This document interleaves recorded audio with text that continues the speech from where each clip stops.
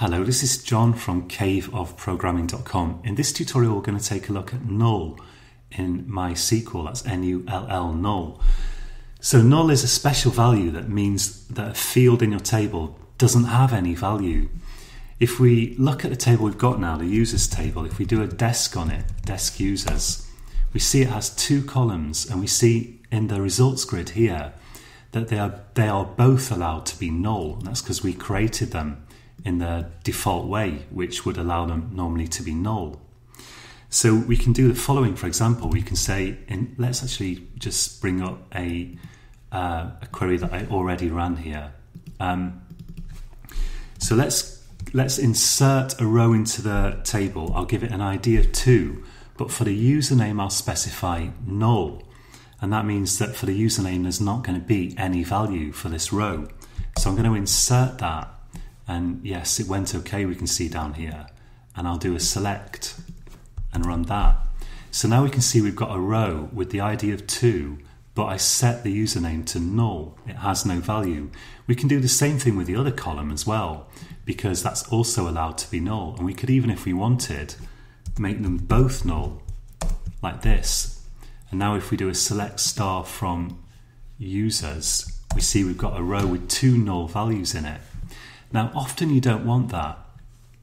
Often what you want is to specify that a particular value in a particular uh, field it can't be null. So you want to say that all the values in a certain column can't be null. So we'll look at how to do this. But first, let's just take um, let's try something a little bit different. So I'm gonna I'm gonna do another insert into this table. Let's try this. And this time in my fields list here, the list of columns, I'm only going to specify one, one column. So I'm going to delete username just as a random choice. And I'm going to specify the value 3 for that column so we can easily see which, which column it is.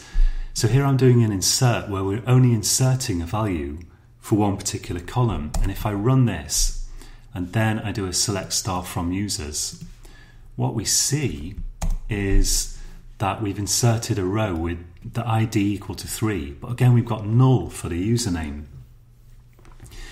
Uh, so you don't have to specify all the columns when you do an insert. If you've got columns that are allowed to be null, which they are if you create them in a default way, you don't have to specify those columns when you do an insert, and then the value will be null. It will have no value for the row that you inserted. Sometimes we want to, as I say, we want to say that um, values in a column can't be null. This is really common. Uh, it's probably the, the most frequent case because um, often we don't want data with sort of missing values in our database. Let's drop this table. Let's say drop table users. So that's going to delete the table and the table should be gone. We can check with show tables if we like. And we see there's no tables in this database. And let's recreate it. So I'm going to say uh, create table users. Let's say ID, um, we'll just use the same as before. ID is going to be a int, and let's make a username field, which is going to be text, a username column, I should say. So if we create a table like this, both of the columns are allowed to be null, but we can put not null after any column to say that it can't be null. So you can do that on any of the columns that you want to not be null. Let's uh, let's try it with let's try it with both of them. I think we'll make both of the columns not null, and then if we do a desc users, we see that now they're not allowed to be null. So now if I try doing stuff like let's bring up an insert here. Um, so I, let's try well, we'll try this. Let's just run this. This is going to give an error. We can't insert null values for either of, the, either of these columns now, even if I specify an ID, because I said also username not null when I created the table. This went wrong because even the username by itself can't be null. So again, we get an error down here. Now it's interesting to see what happens if you insert um, a if you try to insert a row in a table with fields that are not allowed to be null, but then you don't mention those names in your insert. So let's try it. I'll I will try getting rid of username here and I'll try to insert a row with the ID of 9. Now if I run this on this particular version of MySQL uh, configured the way it is, what I find is that I get a warning icon down here. And if I do now a, so it's not an error that SQL has run, it's just giving me a warning. If I do select star from users, we see that what's happened is we did insert the row. The username appears to be blank. So the username is, is not null. It does have a value, but this value is actually a blank string. Uh, that's the default value for a text type. I'm calling it a string because this is kind of a technical lingo for some characters, you know, a piece of text. We call it a string. So the default value for a text type is is a is a blank string, a string of zero length, which is not the same as null. If you try this on your database, you might find that you get different results, and we're going to talk about that a bit in the next tutorial. Let's just try this again.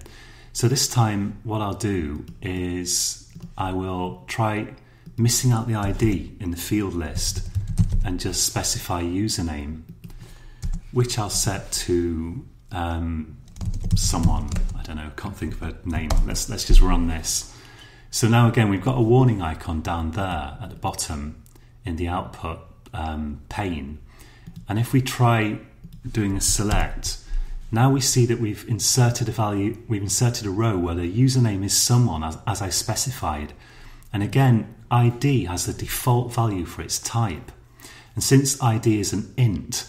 It, uh, the default value for an int is zero now, this, this behavior, you might get different behavior with your version of MySQL, or it might be just that you, if someone else installed it, especially, or if, if the MySQL developers decide to change the default options, you might find that you can't do this, that it won't let you uh, not specify a value in an insert when the when the value is we've said it's not null when we create a table and we're going to look in the next tutorial at some configuration options that affect this.